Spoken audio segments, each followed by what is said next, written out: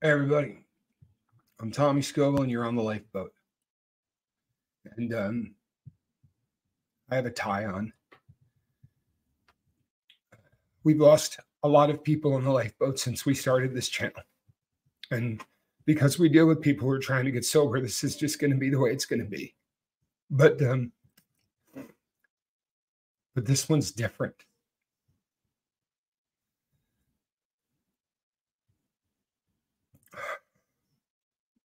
For so many reasons, this one's different because the system failed. Buddha, everybody that touched this thing screwed this up.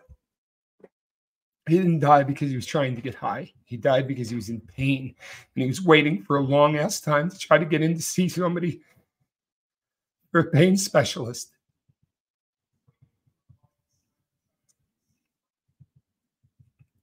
And then he goes to a methadone clinic that's going to take him up like two milligrams every four days. You got to get to a high enough dose that the, that the pain goes away. This guy's not doing this to get high.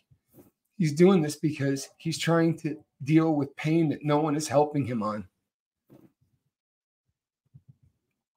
And he was from the same part of the country that I was from, and we just became friends. It was the amount of time that I spent on the phone with this guy. It's been really different than anyone else. And I know his family. So sorry. Oh, to Phyllis, I'm so sorry. That's it. And to the rest of the Davis family. We're not going to win every one of these but I really wanted to win this one. Yeah. It is going to be a blessing to his family that uh, he did have faith in a higher power, and uh, and I know that his family, as I do, believes that his suffering is over and that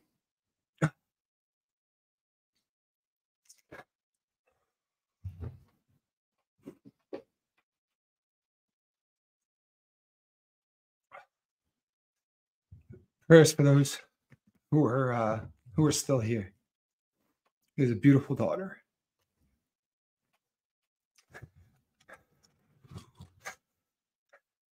I don't know about a five o'clock today, folks. I'm Captain Tommy Scoville.